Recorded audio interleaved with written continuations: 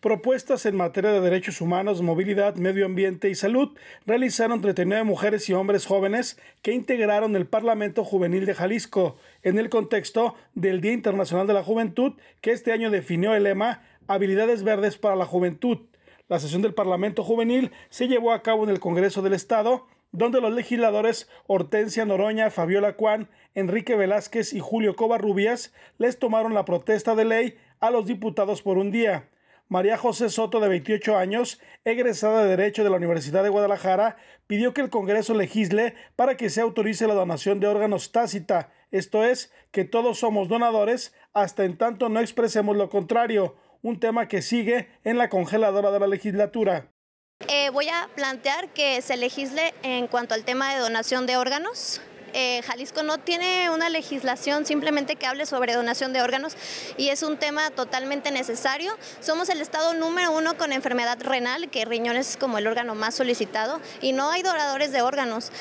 Salvador Campos, diputado juvenil de 23 años, quien estudia la carrera de Administración de Empresas, propuso que se ejerza mayor control sobre los centros de rehabilitación para adictos, conocidos popularmente como anexos. Mira, yo la iniciativa que el día de hoy presento es este, que se, exista una regulación en los centros de rehabilitación, porque hemos visto que en los últimos años los centros de rehabilitación han sido un escondite, una cueva para delincuentes, personas que tienen órdenes de aprehensión, personas con desaparición, y creo que es importante que todos los centros de rehabilitación notifiquen a la Fiscalía General del Estado quienes entran con nombre, apellido, para que pueda existir una base de datos Ruth Ferra Robles, de 23 años, estudiante de la licenciatura en Ciencias del Comportamiento Humano, propuso que se hagan campañas de difusión de los derechos que tienen las mujeres.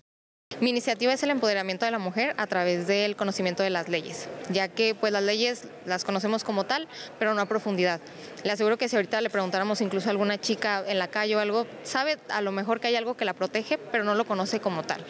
Alan Ramírez, de 25 años, egresado de la carrera de Administración de Negocios de la UDG, resaltó la importancia de que se hagan parlamentos juveniles para impulsar la participación política de los jóvenes. Son ejercicios muy buenos porque les dan voz, ¿no? se, visibiliza las causas y que aparte agarramos experiencia